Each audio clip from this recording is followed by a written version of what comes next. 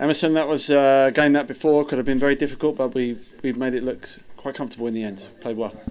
Yes, uh, we did well. Uh, I think in the first half, especially, we, we started well. Mm. We scored the first goal, but after we we conceded a lot for them, and uh, but we started well again the second half, and we scored the second goal, and uh, for sure the second half it's it's better for us.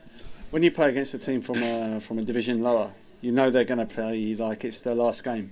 Uh, you've played for big clubs your whole time, so um, it's just how you handle it professionally. Yes, of course, uh, they play very well. Uh, I think uh, in the, the the cup games it's always like this. It's it's just one game.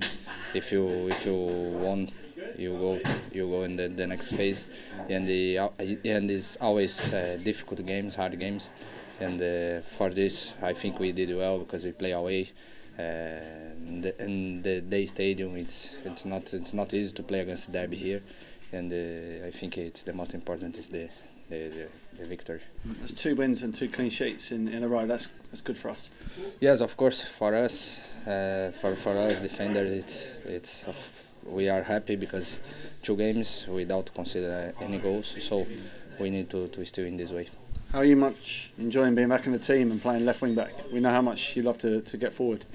yeah, it's good. It's good. Uh, I always play in the, the, the, in the back four uh, or sometimes in the back five as well. And uh, now uh, here at West Ham, I play more in the back five, and I'm happy because I can go I can go more uh, in the attack and to, to help the the our strikers. So uh, of course when when I go in the attack, I enjoy more. So. Uh, I'm happy with this. Manchester United away next. We found out 20 minutes before the game that we, we have to go to Old Trafford, but you've been there many times and we can't go there with any fear.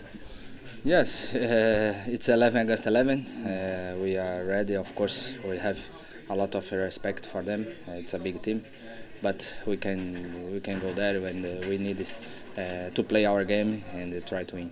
Just lastly, we go to, to Newcastle on Saturday. It's a, a new Newcastle, a different club. They they don't concede many goals, and obviously St James's Park is a, a tough place to go any time. But you know, we need to go there with some belief and confidence now.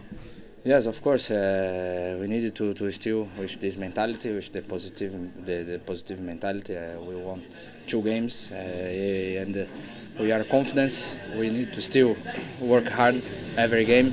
Uh, of course, Newcastle is a good team. It's they they they are so good this season but uh, we can do we can we can go there and uh, we can we can win